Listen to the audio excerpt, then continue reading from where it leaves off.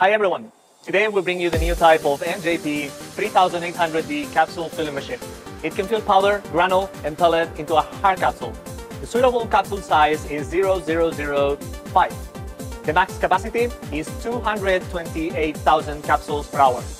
And it fully meets all the requirements for the CE, CGMP, USA, and European standards.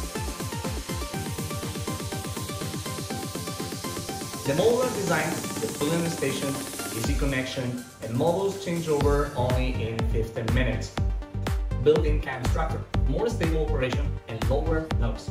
The pneumatic fitting model and method easily solve the filling problem of viscous materials, more stable operation, and faster speed. It is your best choice for mass production.